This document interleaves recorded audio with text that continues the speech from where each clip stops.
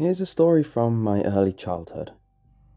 As a kid, I had trouble sleeping because I was immensely afraid of the dark, and anything even pertaining to any sort of monster or villain would keep me up all night. My older brothers loved tormenting me to drive me up the walls, and it worked, although I never would have admitted it. My mom, the caring mother that she was, was ultimately worried about my health. She was a doctor and always preached that sleeping at least eight hours a day was a key to a good life. So, ignoring my pleas, she told me that she was going to buy a baby monitor, whether I want it or not, to check on me during the night. My brothers thought this was hilarious, but I ignored them and went to bed one night with a baby monitor lying on the nightstand next to me.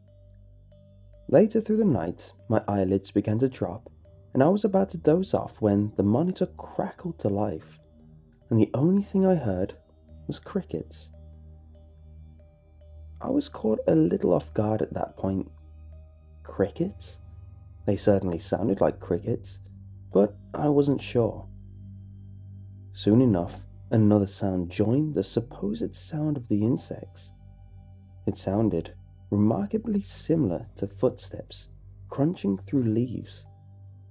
Then there was a lot of shoving around like someone dropped the monitor, and then dead silence. I shook the baby monitor, assuming it was broken. Hello? I said. More silence. Then more moving around from the other end. No more crickets, no more footsteps. Hello? Mom? I repeated once again. I heard a deep breath come from the other line.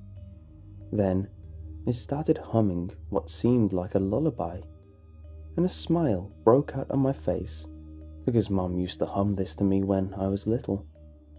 I instantly knew it was her.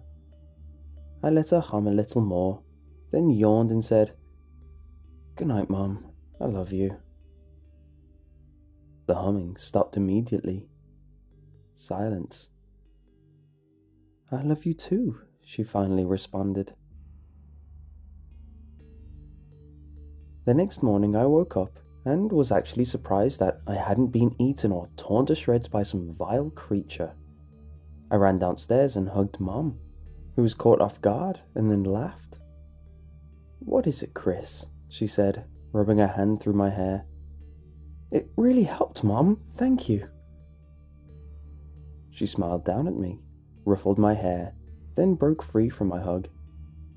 What helped, hun? she asked, stepping back to make breakfast. I was a little confused, but then figured it was some sort of trick question. You're humming!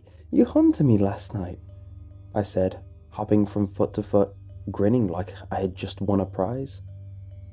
Mom turned to me, her smile gone a look of concern on her face. Christopher, I didn't hum to you last night. You must have been so tired you were hallucinating, she said, getting down on her knees and staring into my eyes, which were bloodshot for the first time in about a month. I rocked back and forth on my heels, scratching my favourite footy pajamas. You hummed to me through the baby monitor, I said, getting a little impatient. You're lying. Lying isn't good. Mom pursed her lips like she was in deep thought. Baby monitor? she asked. Yeah, I said, nodding. Mom got up and pulled out some dishes out of a drawer. How about you go up and bring the baby monitor down for me to see, okay? That's your mission. Imagine you're a spy. When I heard the part about being a spy, I took off right away. I bolted up the stairs and was running down the carpet floored hallway when I was stopped by John, the third oldest brother.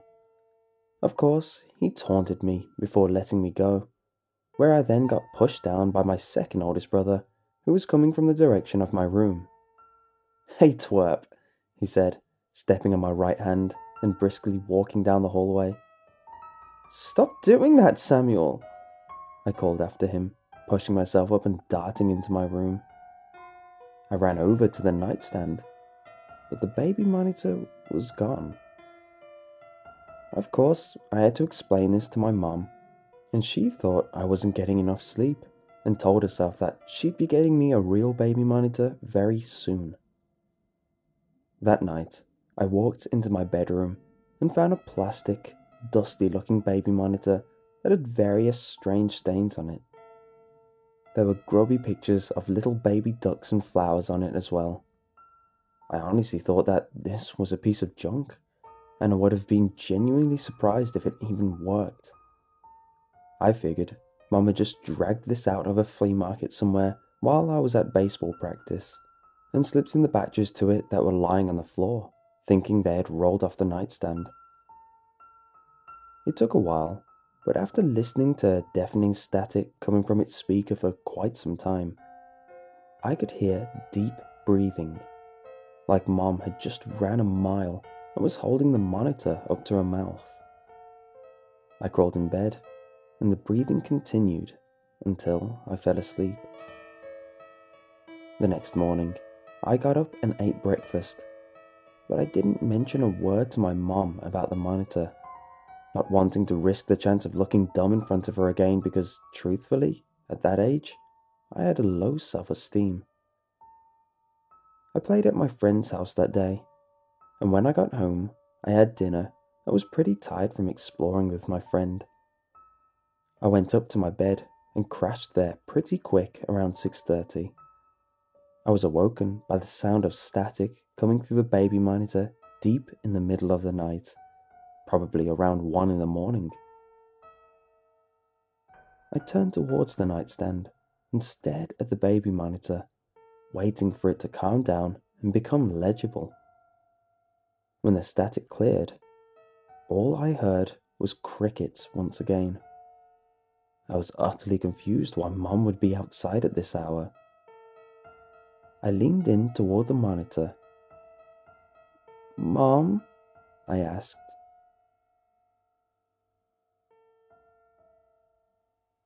To this day, I will never forget the feeling, the despair that went through me as I heard, faintly, the sound of my own voice coming through the other end.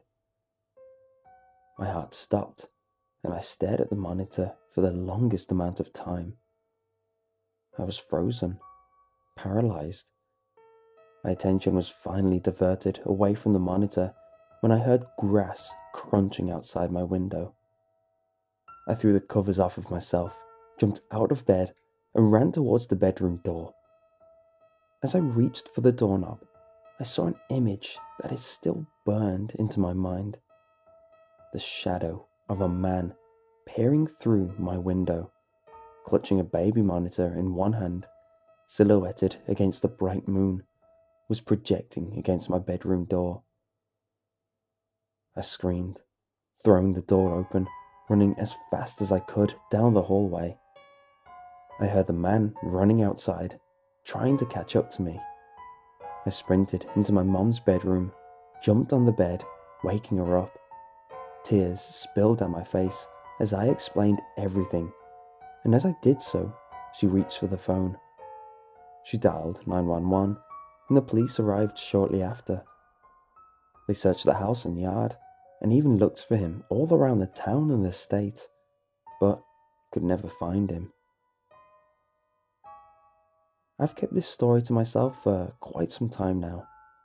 This all happened when I was five. I'm 16 now, and every one of my brothers has moved out except John, who's 18 and going to college soon.